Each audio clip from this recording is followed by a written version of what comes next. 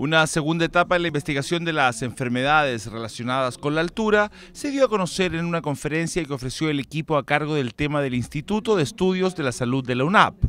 Las conclusiones obtenidas en esta etapa serán puestas a disposición de los entes que las necesiten para avanzar en el mejoramiento de las políticas públicas y protocolos respecto a este tipo de dolencias.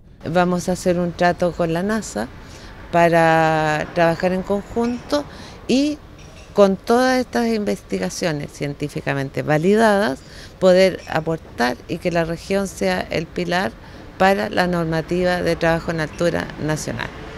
Los expertos presentes afirmaron que si bien es cierto hay algunos avances en materia de medicamentos, lo más importante es mantener un estilo de vida saludable, comer sano y descansar lo suficiente cuando una persona va a subir a niveles altos sobre el nivel del mar.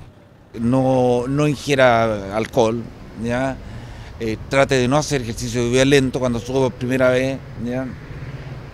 Idealmente puede tomar algún protector si ha tenido eh, algún relevante con la altura.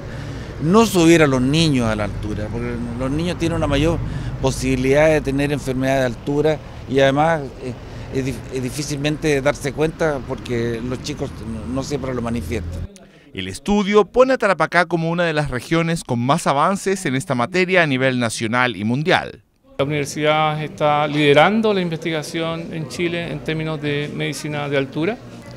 Sus estudios han servido para ser aplicados en una diversidad de entidades que se relacionan con la altura y que tienen rendimientos asociados a la altura.